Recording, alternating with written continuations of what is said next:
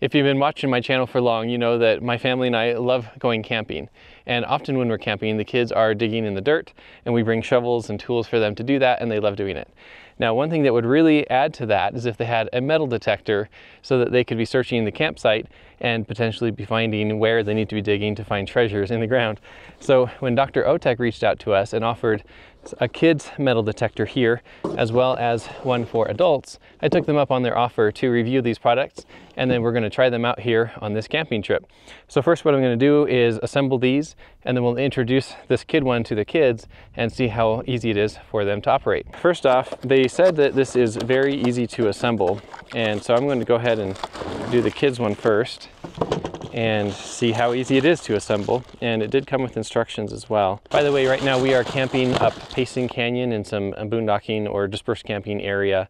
And I will put a card above to this video when it's published of this camping trip. First off, it has the, the main handle. It has some plastic on the end and there's a plate right here. And the way that this is supposed to be used is you hold it here and then that plate is on the bottom of your wrist, just help support the weight. And then this over here, of course, these need to connect together and they've got some wires there. So I'm just gonna put those wires in, do that. And I haven't even read the instructions yet, and yet this is pretty self-explanatory in my opinion. And then over here, this is loose. You can see how that pivots. So I'm gonna spin this around, put it like that, and then capture the whole thing. By the way, Jessica, my wife, is the camera operator today, so thanks, Jessica. So I'm gonna get this about like that because that's the roughly the orientation the kids are gonna be holding this. But note that this does telescope in and out so that depending on the, how tall your child is, it can go up higher or down lower. So our kids are pretty short, but we'll adjust it once they start to use it. So I'm gonna tighten this here and that's it. That's, oh, and actually this right here needs to get tightened. There we go. And that can still be moved a little bit. This isn't gonna have a lot of tension on it because they're just hovering over the ground with it.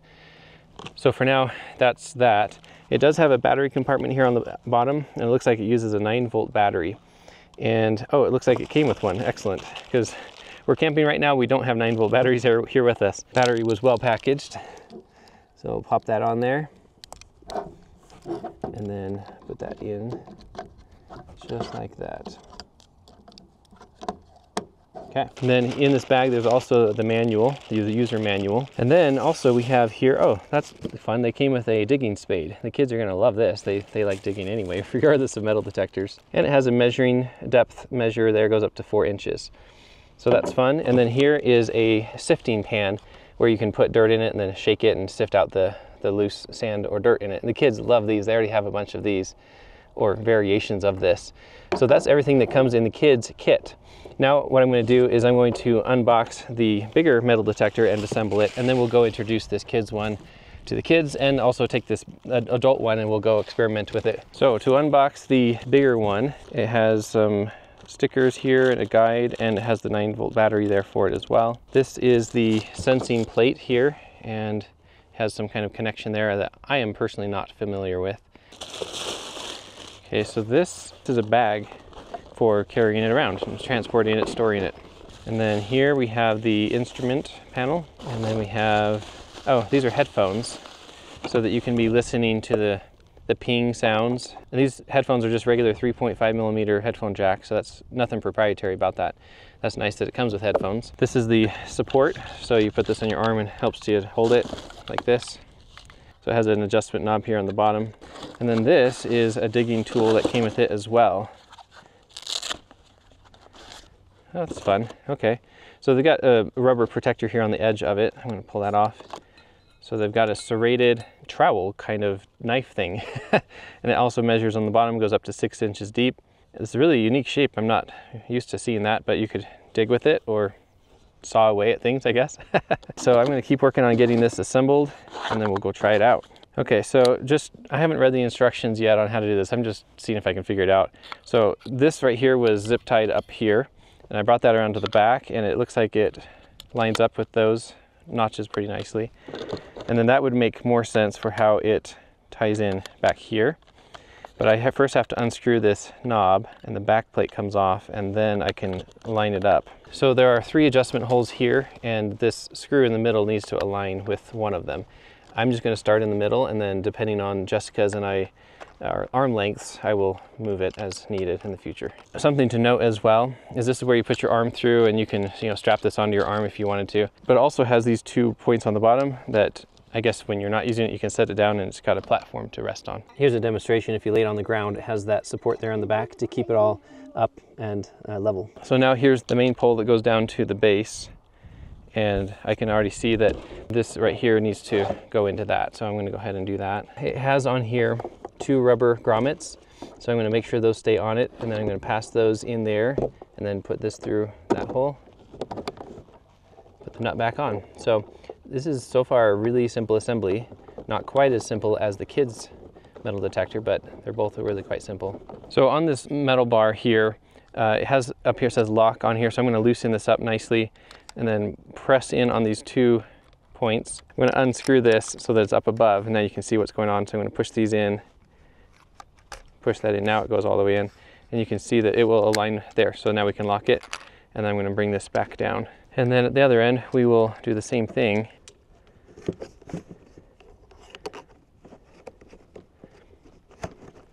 and with these, I'm not sure how long we're going to want these as well.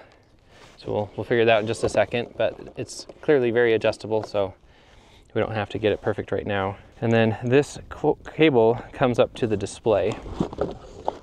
And this display has two screws on the bottom as well. So after I unscrew both of these all the way, and they are a little bit long, now I'm going to put this here, this display, pointing up towards the operator on top of these two holes. Here on the bottom, put these bolts back in. And then this cord, you can see needs to go in right here and it has plenty of excess. So what we're gonna do is just kind of wrap it around so that it stays out of the way. Now it's the perfect length to go in to that port right there. Oh, and it has top on the plug. So I'm going to align that top with the top here. Per perfect. All right. So now we need to put in the battery. So it has a battery compartment here on the underside of the, the display. So that just press in and slide to the side. There we go. All right, so we're fully assembled. I'm gonna peel off this protective film. There's a sticker right here and it says protective film is removable. The actual protective film is across the entire display, not just that sticker. So if you can grab the edge here, then you can peel back and it takes off everything. I'm going to now look at the manual briefly just to make sure I know what to listen for when I have the headphones plugged in. So speaking of the headphones, I need to plug these in. So looking at the bottom here, there is a port right there. So this is the headphone port and over here is the port for the actual detector at the bottom and that's really all there is to it. Their instructional manual is actually pretty thorough and good. You can see here on buttons it's indicating what all of the buttons do and then down here it shows the various icons on the display and what they mean. And then here is an indication of the numbers on the screen and what that might mean. Jessica is going to use a ring she had on her hand and drop it just there on the dirt and we're going to test the metal detector finding it. We're not going to bury it, but it's just right there on the ground.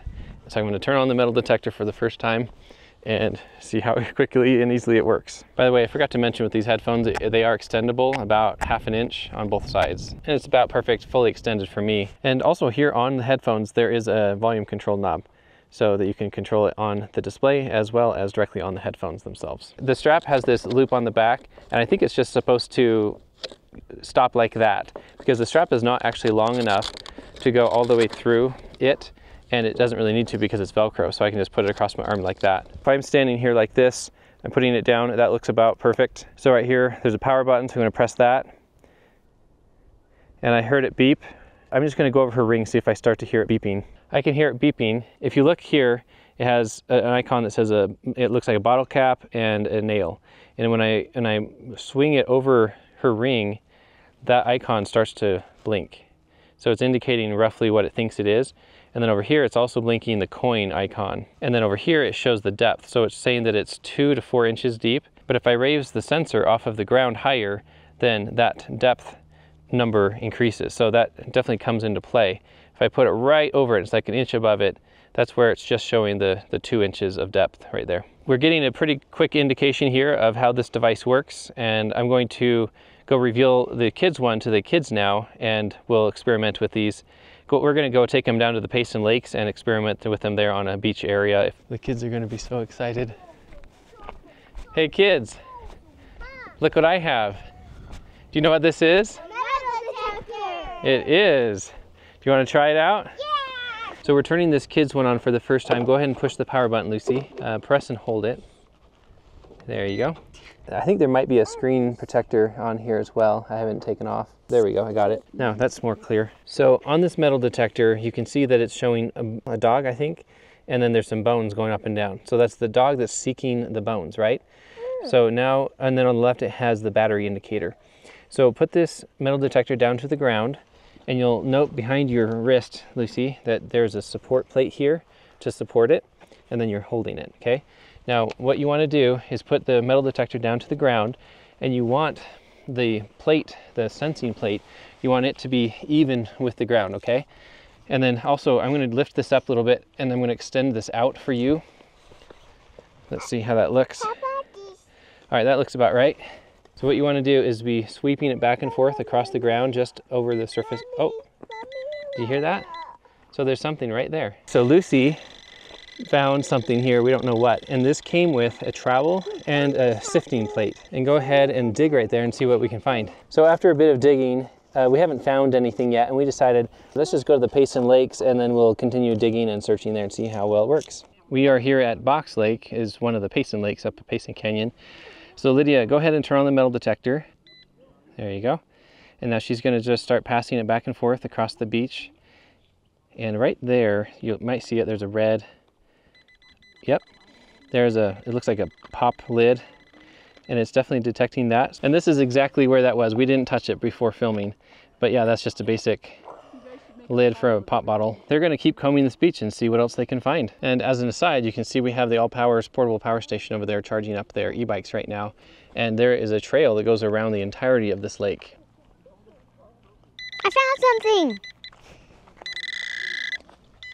Seems like something in that plant.